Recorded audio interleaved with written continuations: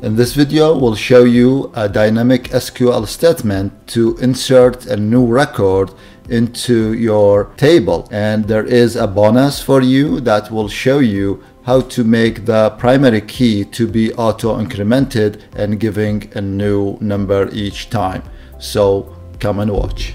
Hello there. In this video, we'll continue working on the same project that we started last time. I showed you how to use dynamic select statement to accept some input from the user and then we'll receive some results based on this input. Today we will use the insertion SQL statement to insert a new record into the table and we'll make it as a dynamic statement as well. The parameters can be provided by the user to be entered and then saved into your table. The good news in the future, I will convert this project into a more user friendly by using a graphical user interface. So stay tuned and I want you to subscribe and turn on the notification bell to be notified when this new video released. And now let's jump into this program and let's start working on it.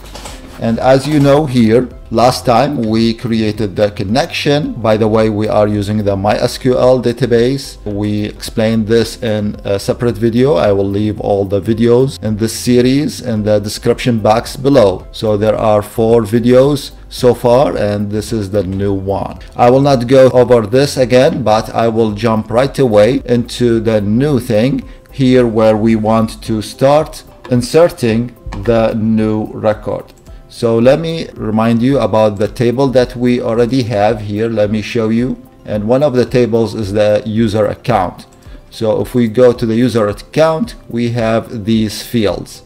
I will leave the link to this database in the description box below as well. You can download and start working on it if you like. And uh, one of the things we have this table for user accounts to be used as a login to the system. So we'll be saving the credentials in this table. We'll talk about the account date later on in a separate video to save or register the time and date of this operation. And now we have the ID and this is the uh, primary key in this table and to make this ID auto incremented you want to check this option auto incremented AI it's not artificial intelligence it's auto incremented here right by the way, I have a video talking about artificial intelligence if you are interested. So I will leave the link in the description box as well. This is the interface of MySQL. There is a video about that. Here I will go back to Java NetBeans. I will start the first thing to be written here.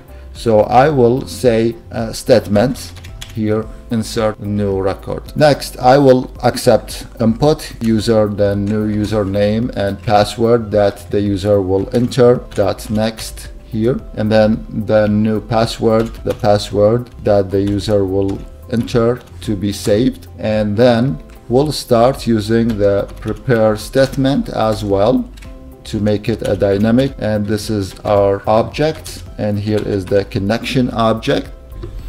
Okay so now let's start entering the insert statement the SQL statement and here is the statement. We'll start by insert the keyword insert followed by the keyword into and then here is the user account which is the table in our database and then the fields that you want to enter or update. So here we have the username and the password. We didn't do the ID because the ID as we mentioned will be auto incremented then the values that will be entered and here are two placeholders, two question marks as parameters to be entered later on to be saved in your database and into your table.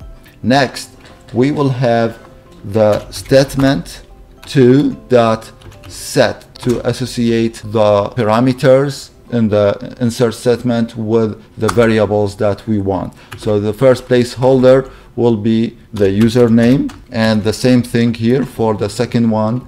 The second placeholder it will be the password.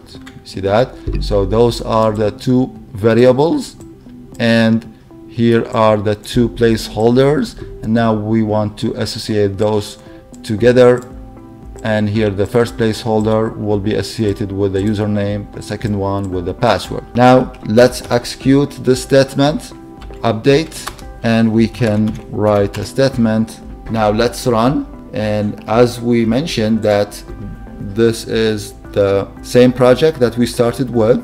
So we build the login part and here we want to enter the username and the password to give us the permission to modify or to add a new record.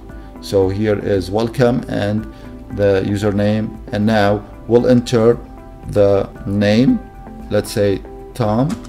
And here Tom 123 what a strong password here. So here the operation is done as you can see. And let's go back to our table and let's refresh. And here we can see that this is the table that has the updated record. Here is the ID that is generated by the computer and then this is the username and followed by the password. See that? For now I will leave you with these videos. Check those videos and do not forget to subscribe and turn on the notification bell. Thank you and goodbye